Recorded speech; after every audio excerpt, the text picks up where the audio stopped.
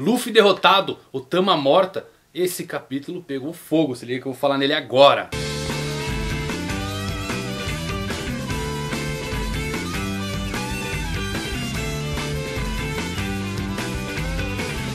Fala galera, Evandro Fusari com mais um vídeo pra vocês, como vocês estão? Espero que todos estejam muito bem com mais um vídeo aí de One Piece, One Piece 923 Que capítulo meus amigos, eu sempre digo isso, mas está ficando muito bom. Cada capítulo um melhor do outro, uma evolução incrível num período tão curto Esse arco está pegando fogo. Já aproveita aí, se for novo no canal, se inscreve aí embaixo, inscrito que for Mangalático já Adianta aquele like pra dar uma força aí pro canal.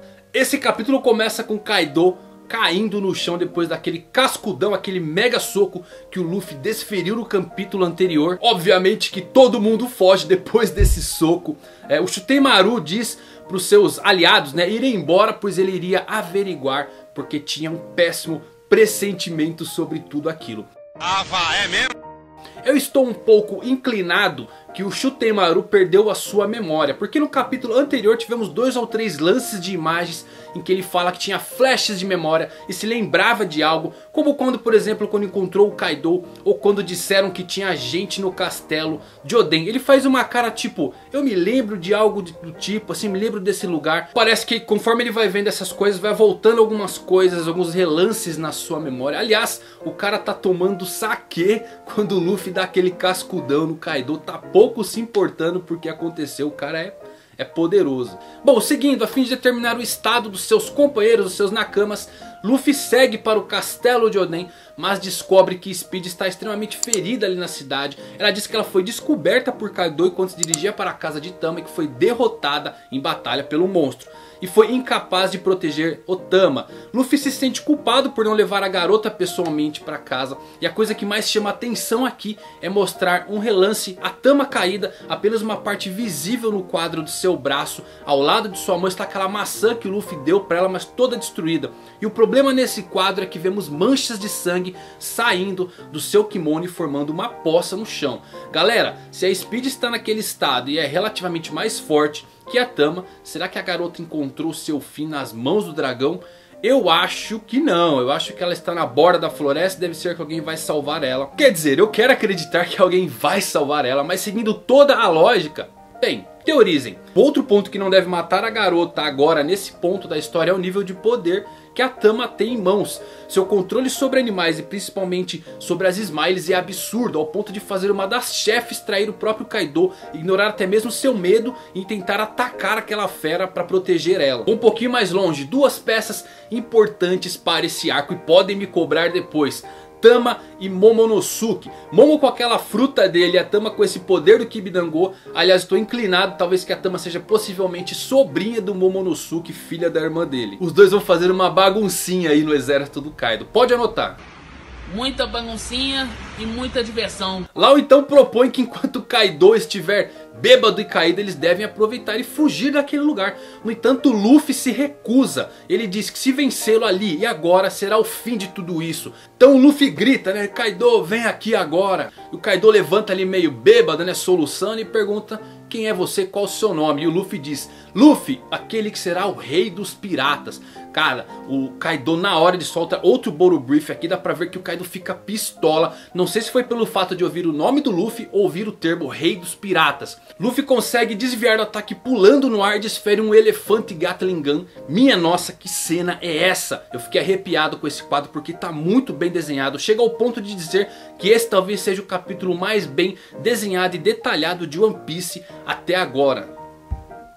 É inegável a evolução nos detalhes. O Oda está extremamente empolgado para fazer esse arco. Com essa saraivada de golpes, Kaido é derrubado de novo e retorna à sua forma humanoide enquanto está ali no chão. No entanto, Luffy não relaxa seus esforços e se transforma no Boundman e lança um Kong Organ em Kaido. Cara, o Luffy ele fervorosamente continua dando incontáveis golpes em Kaido. Mais ou menos ali naquela mesma hora o Luffy ele fica cansado e ofegante de tanta porrada que ele deu após uma série de ataques. O Kaido acaba ficando sóbrio e se levanta. Meu Deus, como assim? O Luffy com todo o seu poder só curou a ressaca do Kaido. Galera, percebam a importância disso daqui.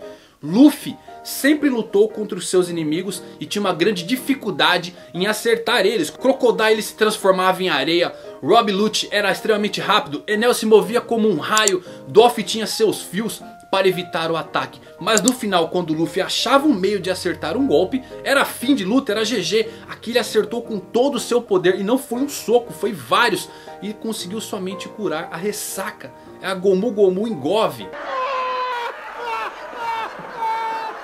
É verdade. Agora eu entendo porque alguém do calibre do Doflamingo tinha tanto medo de confrontar o Kaido. Pra quem achava aí que o Doff escolheu não irritar o Yonko apenas por motivos comerciais, está provado aí que o cara é um monstro. Kaido com sua bebedeira curada levanta e diz o seu golpe, Haimei Hake com uma clava. Clava essa que é igualzinha da Alvida, hein? Será que é, Alvida é filha, é parente aí do monstro? Dá uma olhadinha pra você ver que é igualzinha a mesma arma que eles usam, hein? Gente, com esse porretão do Kaido, ele envia o Luffy voando somente com um golpe. Luffy cai inconsciente com sangue escorrendo de sua cabeça. E o Kaido termina dizendo o seguinte, que tipo de rei você falou que seria? Luffy derrotado com apenas um golpe. Isso é quase parecido com aquela cena do deus fraco Hulk versus Loki. Eu sou um deus, criatura ridícula!